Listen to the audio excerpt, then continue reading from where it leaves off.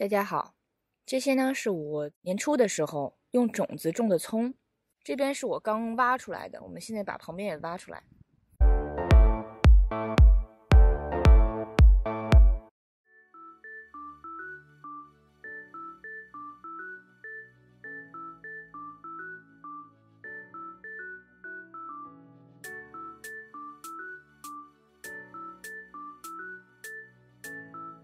挖好之后呢，我们现在来整理一下它的须须，也就是它的根系。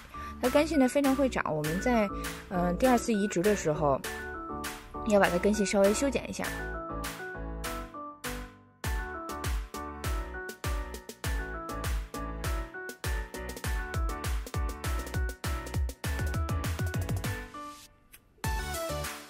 给大家先做一个示范，拿一小把。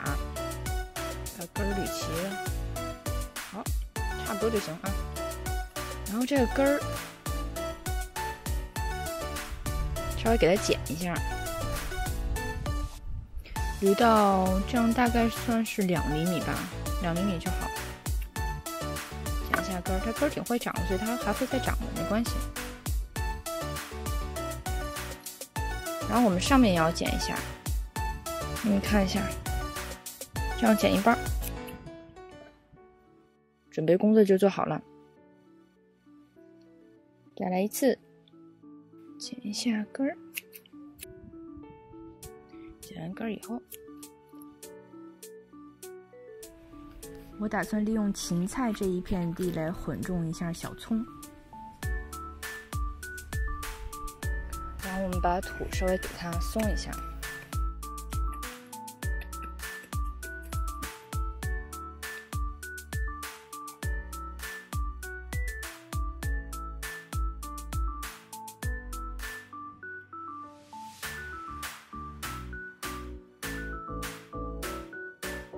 在两排芹菜中间，我们挖一条小沟，稍微深一点儿，往沟里加入底肥。我这里用的是马肥。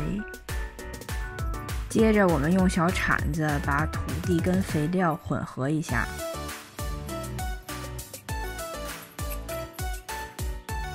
移植前，咱要先浇一次水。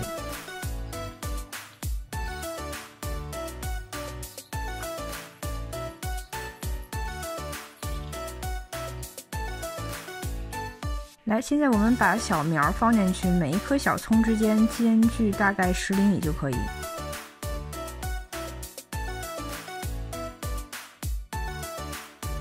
把土合上。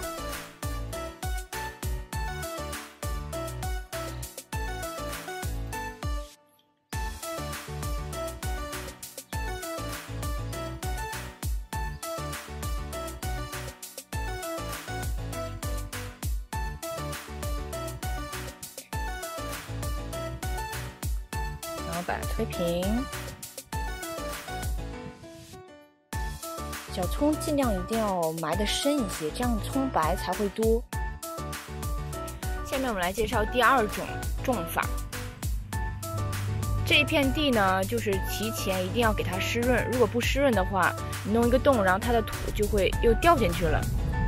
我们拿一个小葱，直接把葱扔里面，放到最深。这个时候不用管它，不用填土，直接浇水。这种方法非常的简单，浇完水之后呢，土自动就填上了，很方便。这个呢是刚才我们行种，所以种葱呢就是有这种两种方法，大家看自己喜欢哪一种方法。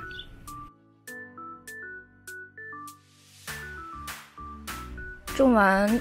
大葱之后，我们可以顺便做一下芹菜的田间管理，给它们施一下肥。我们这片地大概算一平方米，那一平方米呢需要一百克。说实话，这个味道比较比较大一些。把这个肥料绕着芹菜根儿，我们撒一圈儿，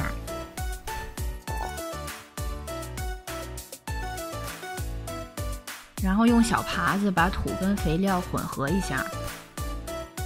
动作呢要轻，不能伤到芹菜的根儿。最后我们来浇水，浇水的时候尽量不要浇到芹菜的叶子。浇水呢，那个肥料才能渗进去。营养才能让它的根儿吸收。再把稻草再盖上，稻草的作用呢，它可以保湿。